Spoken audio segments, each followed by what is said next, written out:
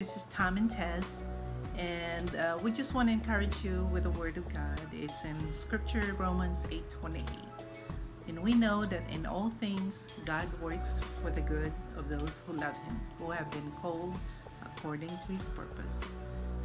We know that we are more than conquerors in Christ Jesus. Therefore, let us encourage one another that we will spread God's love. And we love you, and God bless you. Aloha. Aloha. Amen. Amen.